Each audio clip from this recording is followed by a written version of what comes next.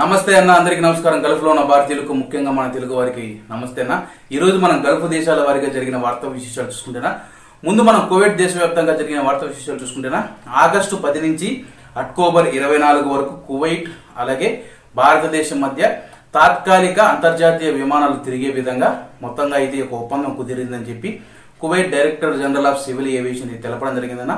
అలాగే కువైట్ నుంచి వెళ్ళడానికే ఇండియా నుంచి కువైట్కి వచ్చేదానికి ఒప్పందం కుదరలేదని స్పష్టం చేయడం జరిగింది. తర్వాత చూసుకుంటేనా నిషేధించిన ముప్పై ఒక్క దేశాలపై అయితే పది రోజులకు ఒకసారి సమీక్ష నిర్వహిస్తామని చెప్పి సమీక్ష నిర్వహించిన తర్వాత వీలైతే కొన్ని దేశాలను మినహాయిస్తామని చెప్పి లేదంటే మరికొన్ని దేశాలను ఈ యొక్క నిషేధిత దేశాల్లో చేరుస్తామని చెప్పి కువైట్ ప్రభుత్వం అయితే ప్రకటించడం జరిగిందన్న. అలాగే చూసుకుంటేనా మార్చి పదమూడు రెండు వేల ఇరవైకి ముందు ఏవైతే కొత్త విజాలను కువైట్ ప్రభుత్వం జారీ చేసిందో అన్ని విధాలను రద్దు చేస్తూ ఉన్నట్లు ఈరోజు పార్లమెంటులో అయితే కువైట్ ప్రభుత్వం ప్రకటించడం జరిగిందన్న.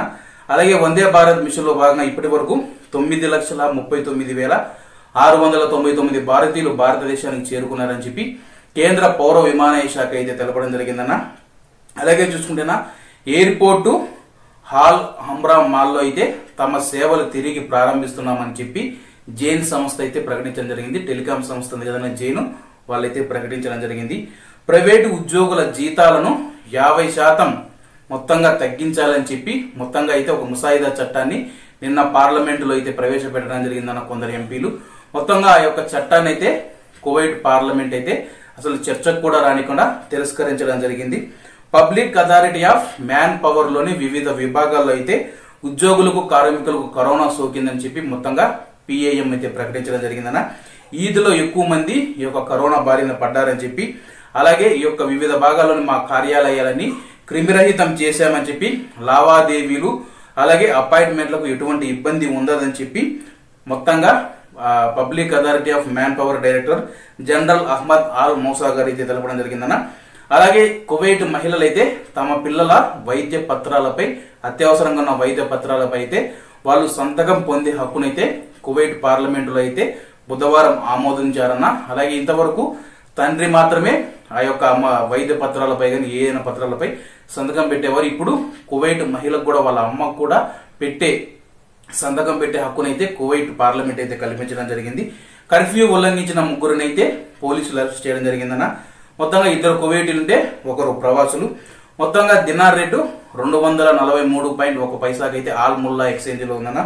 తర్వాత మనం చూసుకుంటేనా ముప్పై ఒక్క దేశాలు నిషేధించిన కువైట్ ప్రభుత్వ నిర్ణయాన్ని అయితే మొత్తంగా కువైట్ ట్రావెల్ టూరిజం ఏజెన్సీలు అయితే వ్యతిరేకిస్తున్నాయన ముందస్తు ఏదైతే నోటీసులు కూడా ఇవ్వకుండా ఉన్నట్లుండేట ముప్పై ఒక్క దేశాల నుండి ప్రవాసులను ఈ యొక్క నిషేధం విధించడం వల్ల మాకు లక్షల దినాల్లో నష్టం వాటిందని చెప్పి విమానయాన సంస్థలు అయితే కువైట్ టూరిజానికి మొరపెట్టుకున్నాయని చెప్పి మొత్తంగా కువైట్ టూరిజం ఏజెన్సీల డైరెక్టర్ మహమ్మద్ ఆల్ ముతైరీ గారు అయితే మొత్తంగా మేము వ్యతిరేకిస్తున్నామని చెప్పి ఒక ప్రకటన అయితే చేయడం జరిగింది. ముప్పై ఒక్క దేశాల నిషేధిత జాబితాల ఉపాధ్యాయులందరూ తిరిగి రావాలని చెప్పి విద్యా మంత్రిత్వ శాఖ అయితే పిలుపు ఇవ్వడం జరిగిందన్న. అలాగే ప్రవాసులను వద్దన్న కువైట్ ప్రభుత్వం ఇప్పుడైతే వాళ్ళ యొక్క కోవిడ్లోని కువైట్లోని విద్యార్థుల కోసం అయితే ఉపాధ్యాయులు రావాలని చెప్పి పిలుపు ఇవ్వడం జరిగింది.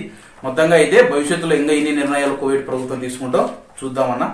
తర్వాత చూసుకుంటేనా విద్యుత్ మరియు నీటి మంత్రిత్వ శాఖలో సెలవు సందర్భంగా అయితే మొత్తంగా సెలవు ఈ యొక్క ఈద్ సెలవులు అయిపోయిన తర్వాత యాభై శాతం మంది ఉద్యోగులు అయితే విధుల్లో చేరారని చెప్పి మొత్తంగా ఇరవై రెండు వేల మంది ఉద్యోగులు ఉంటే దాదాపు పది వేలకు పైగా మంది ఉద్యోగులు అయితే విధుల్లో హాజరయ్యారని చెప్పి మంత్రిత్వ శాఖ అయితే ప్రకటించడం జరిగింది. అలాగే వ్యాప్తంగా ఉన్న కరోనా వైరస్ యొక్క వివరాలు తెలుసుకుంటున్నా మొత్తంగా కోటి తొంభై లక్షల ఇరవై ఆరు వేల ఆరు వందల ఇరవై మంది ఇప్పటి వరకు కరోనా వైరస్ బారిన పడ్డారు ప్రపంచవ్యాప్తంగా. మొత్తంగా ఆరు వేల ఎనిమిది వందల నలభై మూడు గడిచిన ఇరవై నాలుగు గంటల్లో ప్రపంచవ్యాప్తంగా మరణిస్తే మొత్తంగా ఏడు లక్షల పన్నెండు వేల నూట ఎనభై మూడు మంది ఇప్పటి వరకు మరణించారని చెప్పి మొత్తంగా ప్రపంచ ఆరోగ్య సంస్థ తెలపడం జరిగింది.